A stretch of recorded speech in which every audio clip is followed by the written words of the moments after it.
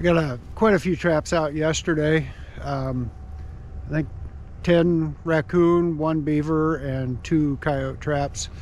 Uh, we're gonna run this line and see what we got.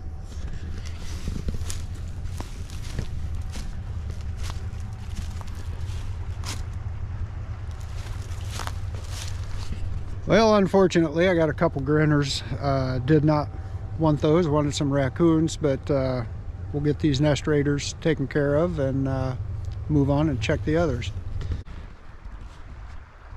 We got those two possum on the first two dog proofs. We did uh, have nothing in the 220 that I had out for the raccoons. Uh, we do have beaver on this one. It doesn't look like it's quite as big as that last one we got, but it is number two for the year.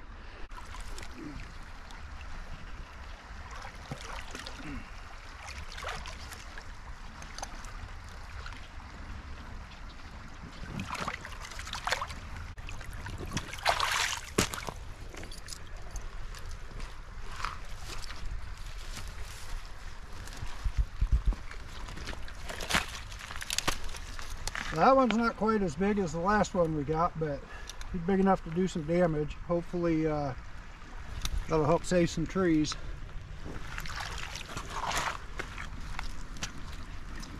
Got a nice uh, full depth front leg catch. That helps with the drowning. Makes it so they can't get up and get some air.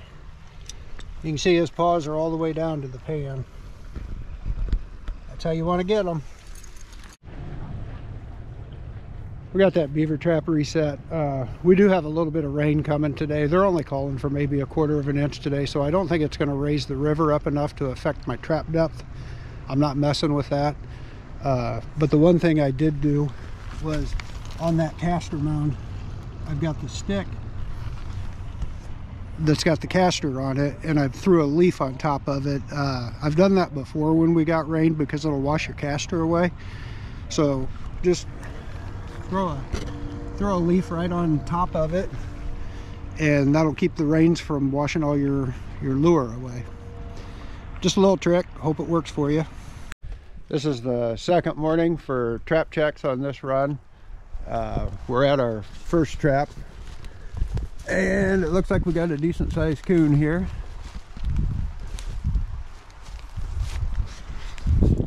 we'll get this one taken care of and if we get any more we'll we'll show you what we got. I got that raccoon dispatched uh, in my previous video. I had talked about using these new cables with hose around them with rubber hose on them in hopes to stop tearing the trees up. Uh, this is actually the first coon that i've caught on one of those and i wanted to show you. I i think i like this uh, idea so you can see where the rubber hose on that cable went around the tree and there is zero damage to that tree. Um, I like that because just with a cable on there, I'm certain that coon would have uh, taken all the bark off of that tree. So I like it. I think I'm going to make up a couple more and start using these when I stake off my dog proofs this way. All right, we're at our first beaver check for the day. The trap is definitely down under the water. We can't see anything. I can see the drowner block, but uh, all right, we got another beaver.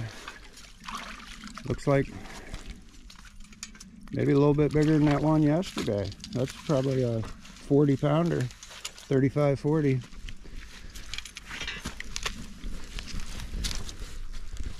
Another good front leg catch helps with the drowning. Can't get their heads up out of the water well.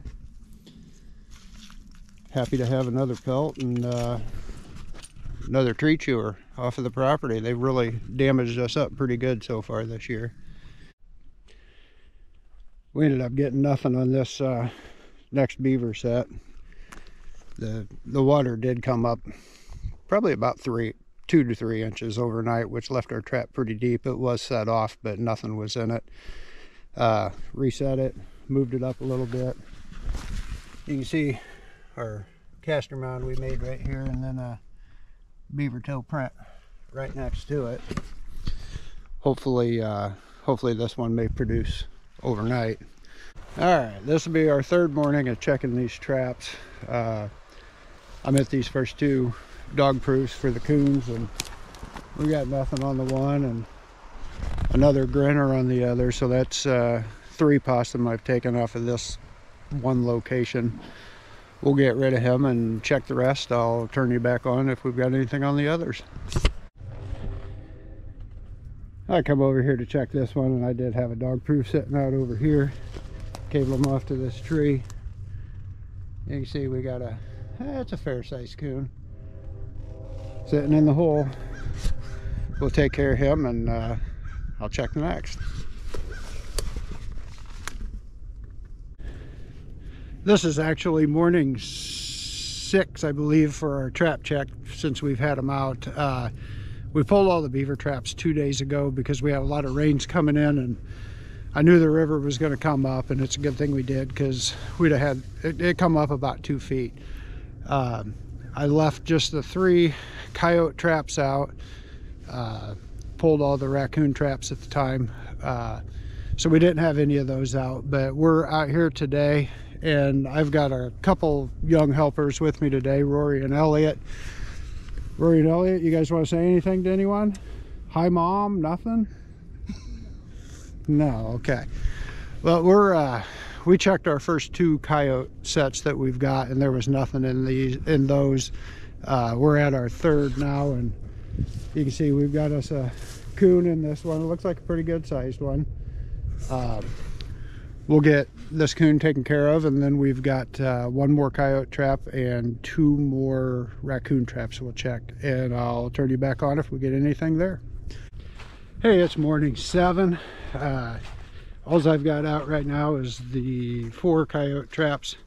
I did relocate one. Uh, the one I caught a coon in yesterday, he muddied that trap and chain up pretty good. Had uh, had it pretty much unusable, so I had one more in my truck. I set it in a different location. Uh, just got done checking those. I got nothing on them. I did have a coyote track close to one of my traps, uh, but no no catch. Uh, we'll come out tomorrow morning and check them again, and I'll bring you along. Good morning, guys. Hey, this is morning nine of checking my traps. Uh, if you've been following along, you'll know I've pulled all my beaver traps due to how much rain we've had in the river going up and down. Uh, hard to maintain a good depth on on a beaver trap when you've got rising and falling waters. Uh, I also pulled my coon traps a few days ago. Uh, I've got enough pelts in the freezer. I just don't want any more raccoons right now. Uh, don't have time for skinning or just choose not to skin anymore. I've I've got the couple beaver pelt and a couple uh, raccoon pelts in the freezer right now that I can flesh out, get them prepped up. Um, I did run those coyote traps for full three or four extra days uh, with nothing. Um, twice I caught a raccoon in a coyote trap, so that kind of skunked my chances right away. Um, this is reality. This is trapping guys. Uh, you you just don't catch something all the time. Uh, I would have loved to have had a coyote. I'm, I'm looking for one to skin out. Um, didn't happen it's been warm oddly warm for Christmas time in the Midwest. Uh, we need some colder temps. I left a lot of my uh, super stakes in pulled the traps off of them so I'm gonna do some things around the house uh, get caught up on that and hopefully we're gonna get a cold spell. I'd like to see some snow decent snow cover on the ground. Uh, everything's just been so darn muddy uh, it'd be nice to freeze it up and get those coyotes moving get them let them get hungry uh, get that snow cover on the ground so it's harder for them to find food and then I think it's going to be a lot more productive. Uh, again guys don't don't get discouraged if if this is how your trapping season goes. It's gonna go that way at times. It really will. The coons were weird uh, at the beginning of this. I mean i caught a i caught quite a few but they they'd walk right past my dog proofs they're just not eating i don't know if they filled up and then it got warm and they had no reason to eat. Uh, but I even put a couple of body grips out and just really didn't have a whole lot going on with them uh, showing that they were moving well. Uh, anyways, it's almost New Year's. Uh, I'm gonna set it out for a few days. Like I said, get some things done around the house. I thank you guys for watching. I would appreciate it if you have not already subscribed. Uh, go ahead and hit that subscribe button. It'll it'll help me out. Uh, I'm getting close to 500. Uh, really never never thought I would even be close to getting that many people that would follow me. But if if you do watch my videos and you haven't subscribed, hit the like button and uh, and subscribe and throw me in a comment or so. It'll boost up the algorithm and push these videos out a little more for others to see. Uh, thanks for hanging out with me, guys. I do appreciate it. And if we get a colder spell, I'll be back and uh, we'll we'll see if we can't trap a coyote. Thanks, guys.